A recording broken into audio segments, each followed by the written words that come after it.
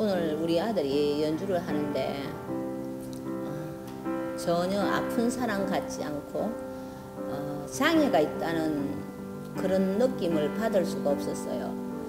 아, 우리 아들도 이렇게 할 수가 있구나 하는 그런 감사함 음, 그리고 이런 자리를 만들어 주신 어, 병원과 우리 선생님들께 감사드리고요.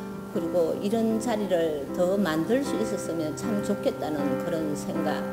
그리고 지금은 아무것도 할 수 없는 것 같고 어, 누군가의 다 도움을 받아서 하지만 이 아이들이 그래도 이렇게 할 수 있다는 게 너무나 감사하고요. 어, 작은 희망의 불씨 이렇게 저는 생각을 합니다.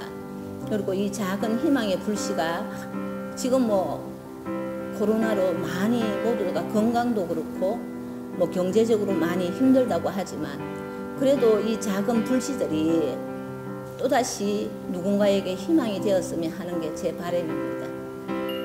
보호자로서 힘듦과 바람, 힘든 부분은 늘 그냥 하나에서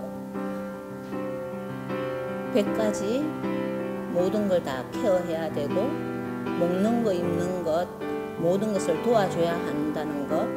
그런 부분에서 때로는 귀찮기도 해요. 때로는 힘들기도 하고 때로는 지치기도 하고. 이렇지만 그래도 어, 아들이 이렇게 뭔가를 하려고 했다는 거 그런 게 너무나 감사하고요. 그리고 앞으로의 이런 바람이 있다면 어, 이번 코로나로 인해 갖고 병원에서 들어가서 우리가 수업도 못 하고 이렇게 했는데 어, 빨리 이렇게 코로나가 좀 종식이 되어서 함께 모여서 서로 소통하며 만나면서 그 속에서 이렇게 수업을 할 수 있었으면 하는 그런 게 바람이고 어, 코로나로 인해 갖고 각자 집에서 홀로 지금 이런 시간을 보내는 환우들이 참 많다고 저는 알고 있거든요. 그리고 그 나름의 어떤 고통과 힘듦이 있다는 게 어, 어떠, 어떻게 보면 이제 이런 소식을 통해서 우리가 듣게 되는데 이런 부분들이